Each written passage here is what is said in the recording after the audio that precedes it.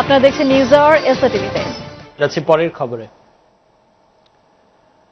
কঠোর নিরাপত্তার মধ্যে সিলেট, রাজশাহী, খুলনা, বরিশাল, বগুড়ায় ও রংপুরে সমাবেশ করেছে আঠারো দলীয় জোট।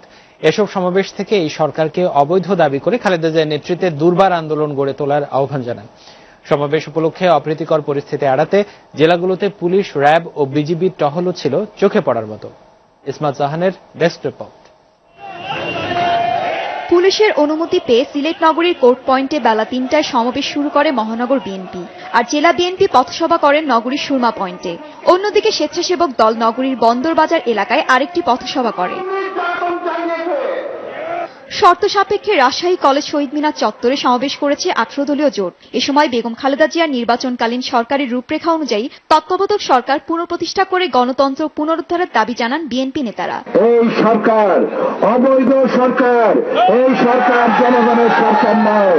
তাই আগামী দিনে জনগণের সরকারের জন্য শান্তিপূর্ণ লেভেল প্লেইং ফিল্ড সবার জন্য সমান সুযোগ দিয়ে অতি সত্তর নির্বাচনের মাধ্যমে বাংলাদেশের গণতন্ত্রকে পুনঃপ্রতিষ্ঠার আহ্বান জানাচ্ছি। বরিশালের সদর রোড এলাকায় দলীয় কার্যালয়ের সামনে সমাবেশ করেছে আঠারো দলের নেতাকর্মীরা। এতে সভাপতিত্ব করেন মহানগর বিএনপি সভাপতি মুজিবুর রহমান সারোয়ার।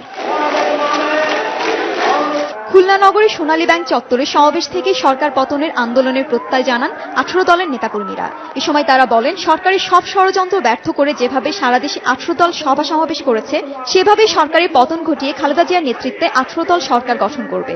আমাদের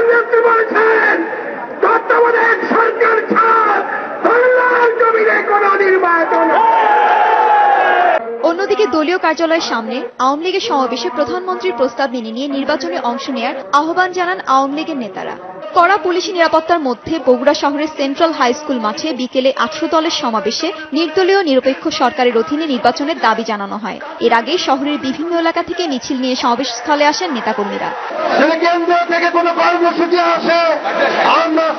কর্মসূচির পরিবর্তে কেন্দ্রীয় কর্মসূচি পালন করব। রংপুরে বেলা তিনটায় নগরীর পায়রা চত্বরে শান্তিপূর্ণভাবে অনুষ্ঠিত হয় আঠারো দলের সমাবেশ। এতে আওয়ামী লীগ সরকারকে অবৈধ ঘোষণা করে জনগণকে জেগে ওঠার আহ্বান জানানো হয়। এছাড়া শনিবার থেকে পুলিশ প্রশাসন সহ স্থানীয় প্রশাসনের প্রতি নিরপেক্ষ ভূমিকা পালনের দাবি জানান আঠারো দলীয় জোটের নেতারা। Jahan SA TV news desk. এদিকে গাজীপুরের রাজেন্দ্রপুরে যাত্রীবাহী বাস ট্রাকের সংঘর্ষে মারা গেছেন পাঁচজন, আহত হয়েছেন কমপক্ষে ত্রিশ জন। সকাল পৌনে নটার দিকে মর্মান্তিক এই দুর্ঘটনা হয়। আহতদের মধ্যে তিনজনের অবস্থা আশঙ্কাজনক। যাত্রীরা জানান, নিহত এবং বেশ আহতদের মধ্যে বেশ কজন বাংলাদেশ উন্মুক্ত বিশ্ববিদ্যালয়ের পরীক্ষার্থী। গাজীপুর প্রতিনিধি শাহজান মিয়া রিপোর্ট। গাজীপুরের ঢাকা ময়মনসিংহ মহাসড়কের রাজেন্দ্রপুরে শ্রীপুর থেকে ছেড়ে আসা ঢাকাগামী প্রভাতী বনশ্রী পরিবহনের একটি বাসের সাথে সংঘর্ষ হয় ট্রাকের। এতে সেখানেই তিনজন ও হাসপাতালে নেওয়ার পর দুজন মারা যান। আর আহতদের উদ্ধার করে ভর্তি করা হয়েছে সদর হাসপাতালে। আহত ও নিহত যাত্রীদের অধিকাংশ উন্মুক্ত বিশ্ববিদ্যালয়ের পরীক্ষায় অংশ নিতে যাচ্ছিল বলে জানান যাত্রীরা। রাজেন্দ্রপুর পাশে চার নম্বর গেট পর্যন্ত আসতে না আসতে তার সাথে বাড়ি খাওয়া বাস উল্টে যায়। না।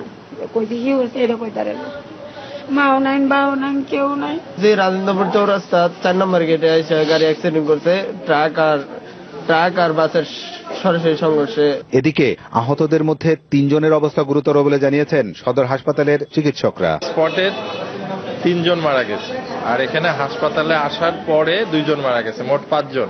আর এখানে ভর্তি আছে আটজন এই আটজনের মধ্যে দুইজনের অবস্থা আশঙ্কাজনক। নাওজোর হাইওয়ে পুলিশ ঘটনার সত্যতা নিশ্চিত করে জানান, রাস্তার পাশে গর্ত থাকায় ট্রাক চালক নিয়ন্ত্রণ হারালে এ দুর্ঘটনা ঘটে। নিহতদের মরদেহ উদ্ধার করে গাজীপুর সদর হাসপাতালের মর্গে পাঠানো হয়েছে। Shahjahan Mia SA TV Gazipur. এদিকে টাঙ্গাইল, দিনাজপুর, নারায়ণগঞ্জ ও জামালপুরে সড়ক দুর্ঘটনায় সাতজন মারা গেছেন। আহত অন্তত তেরো জন। টাঙ্গাইলের মির্জাপুরে বাস ও কভার্ড ভ্যানের সংঘর্ষে চালক সহ দুইজন নিহত হয়েছেন। আহত বারো জনকে হাসপাতালে চিকিৎসা দেওয়া হচ্ছে।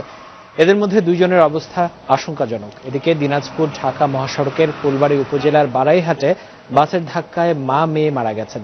এছাড়া নারায়ণগঞ্জ ও জামালপুরে সড়ক দুর্ঘটনায় মারা গেছেন আরও তিনজন।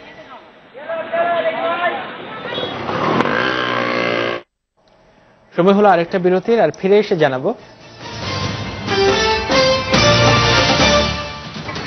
আসন্ন বালি শীর্ষ সম্মেলনে দরিদ্র দেশগুলোর স্বার্থ রক্ষায় করণীয় ঠিক করতে ঢাকায় তিন দিনের আন্তর্জাতিক সম্মেলন শুরু।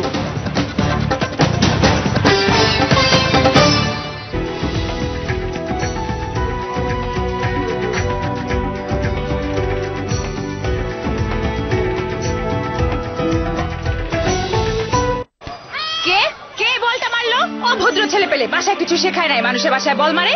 আমার জানালা কাজ ভাঙলে কি হতো? মা বলটা দাও তো আমি মেরেছি। ওলে আমার বাবাটা তুমি তো অনেক বড় ক্রিকেটার হবা। দেখছেন ভাবি?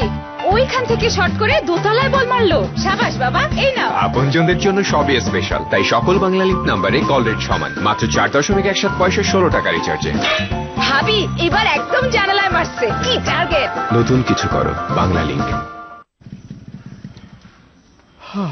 ভাই বাইকটা একটু পুরনো হয়ে গিয়েছে। বেচে দিই